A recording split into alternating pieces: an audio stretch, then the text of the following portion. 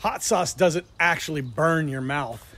Your brain just thinks it does, and chemistry proves it.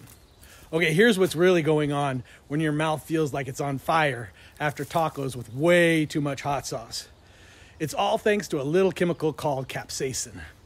Capsaicin binds to the same pain receptors in your mouth that usually sense heat, like fire or boiling water, but there's no actual heat.